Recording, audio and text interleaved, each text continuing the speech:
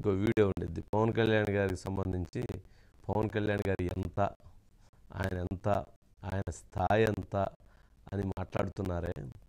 మరి అది ఆయన స్థాయి.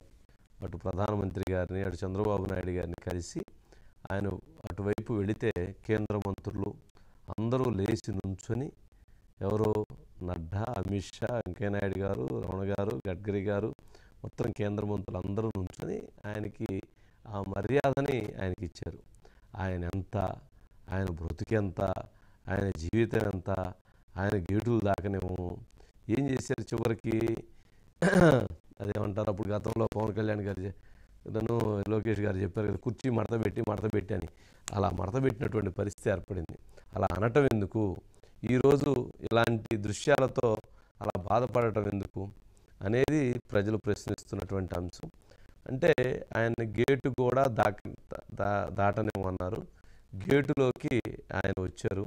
చివరికి అక్కడ మనం చూస్తే ఈరోజు ఒక ఫోటో ఉండాలి అక్కడ విజువల్స్లో. ఈరోజు చంద్రబాబు నాయుడు గారు పవన్ కళ్యాణ్ గారు ఇద్దరు అసెంబ్లీలో అందరూ ఎమ్మెల్యేలు అందరూ కూర్చొని ఉంటే వీళ్ళిద్దరు అలా నుంచున్నారు.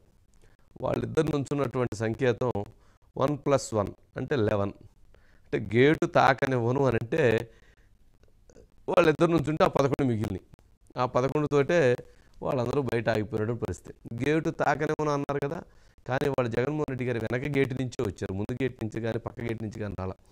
వెనక గేట్ నుంచి వచ్చారు. ఎందుకు వచ్చారు? వెనక గేట్ నుంచి అని డౌట్ వచ్చి అడిగితే ఏదైతే అమరావతి ప్రాంతం మీదగా వస్తే అక్కడ ఉన్న రైతాంగం విమర్శలు చేస్తారు అక్కడ ఉన్నటువంటి వాళ్ళు నిరసనలు తెలియజేస్తారు అన్నటువంటి అనుమానంతో వెనక గేటు నుంచి వచ్చి వెనక గేటు నుంచి వెళ్ళిపోయారట. మరి అటువంటి పరిస్థితి ప్రజా వ్యతిరేక నిర్ణయాలు తీసుకుంటే అటువంటి పరిస్థితి ఏర్పడుతుంది అనేటువంటిది ఇప్పుడు ఏర్పడినటువంటి అంశం. మరి దీని సందర్భంగా మరి పవన్ కళ్యాణ్ గారిని ఎవరైతే విమర్శించారో ఎవరైతే అసెంబ్లీ దా రానివన్నారో చివరికి ఇప్పుడు వారు ఏం చెప్తారు? మరి ఈ మాటలకి వాళ్ళు చేసిన విమర్శలకి అగౌరవంగా మాట్లాడిన దానికి సంస్కారం లేకుండా మాట్లాడినటువంటి వాళ్ళందరూ ఈరోజు మరి ఆయన అసెంబ్లీలో ప్రమాణ స్వీకారం చేశారు. వాళ్ళు ఎవరు కూడా అసెంబ్లీలోకి రాలేదు. మరి ఏం చెప్తారు? ఇప్పటికన్నా జ్ఞానోదయం కాండి.